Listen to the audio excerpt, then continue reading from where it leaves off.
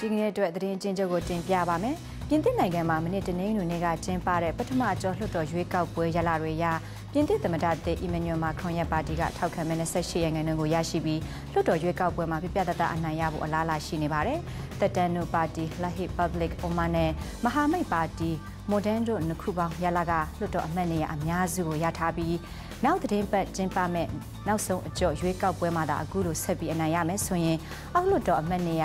989နေရာတဲကအမတ်နေရာ400ကျော်ကိုရရှိမှာဖြစ်ပါတယ်ရှင်။ အမေရိကန်ရှင်းနေချုပ် Jeff Sessions ဟာပြည်ရတဲ့နှစ်ကအမေရိကန်ရွေးကောက်ပွဲတွင်ရုရှားရဲ့ဝင်ရောက်နှောက်ယှက်မှုတွေနဲ့ပတ်သက်ပြီးအထက်လွှတ်တော်ထောက်လှမ်းရေးကော်မတီရှေ့မှောက်မှာအခုတစ်ပတ်ထွက်ဆိုသွားမှာဖြစ်ပြီးအဲ့ဒီလိုထွက်ဆိုတဲ့အခါမှာရှင်းနေချုပ် Sessions စီကအပြေလိုချင်တယ်လို့အမေရိကန်လွှတ်တော်အမတ်တွေကပြောလိုက်ပါတယ်ရှင်းနေချုပ် Sessions ဟာမူလကအထက်နဲ့အောက်လွှတ်တော်ရဲ့သက်ဆိုင်ရာစက်ကော်မတီတွေရှေ့မှောက်မှာထွက်ဆိုဖို့စီစဉ်ထားတာဖြစ်ပေမဲ့ပြီးခဲ့တဲ့ Mr. Comey ရဲ့ကြားနာပွဲအတွင်းပေါ်လာတဲ့မေးခွန်းတွေကိုဖြေဖို့အတွက်သူ့အနေနဲ့အထက်လွှတ်တော်ထောက်လှမ်းရေးကော်မတီရှေ့မှောက်မှာပဲထွက်ဆိုခြင်းတယ်လို့လွှတ်တော်ကိုစနေနေ့ကစာပို့ခဲ့ပါတယ်ရှင်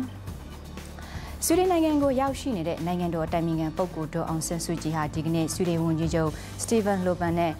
တွေ့ဆုံပြီးနိုင်ငံအရေးကိစ္စတွေကိုဆွေးနွေးခဲ့ကြပါတယ်။ဆွေးနွေးမှုပြီးပြုလုပ်တဲ့ပူးရဲသတင်းစာရှင်းလင်းပွဲမှာတော့မြန်မာနိုင်ငံရဲ့ငြိမ်းချမ်းရေးလုပ်ငန်းစဉ်တွေအကြောင်းပညာရေးနဲ့ကျန်းမာရေးဆိုင်ရာအကူအညီတွေလိုအပ်နေတဲ့အကြောင်းတွေကိုဒေါအောင်ဆန်းစုကြည်ကပြောသွားခဲ့ပါတယ်။ရခိုင်ပဋိပက္ခနဲ့ပတ်သက်လို့ဖြစ်ပျက်ခဲ့တဲ့အဓိကအကြောင်းရင်းတွေနဲ့ပတ်သက်လို့ဆွေးနွေးခဲ့ကြတဲ့အကြောင်းလဲဆွေဒင်ဝန်ကြီးချုပ်ကပြောသွားပါတယ်။ရည်စဉ်တွင်ဆွေဒင်အစိုးရအရာရှိတွေအပြင်ဆွေဒင်ရောက်မြန်မာနိုင်ငံသားတွေနဲ့လည်းဒေါအောင်ဆန်းစုကြည်ဒီကနေ့နေ့လယ်ပိုင်းမှာတွေ့ဆုံမှာဖြစ်ပါတယ်။မနက်ဖြန်အင်္ဂါနေ့မှာတော့ဆွေဒင်လွှတ်တော်မှာဒေါအောင်ဆန်းစုကြည်မိန့်ခွန်းပြောကြားမှာဖြစ်ပါတယ်။သတင်းအကျဉ်းချုပ်ကိုတင်ပြခဲ့တာပါရှင်။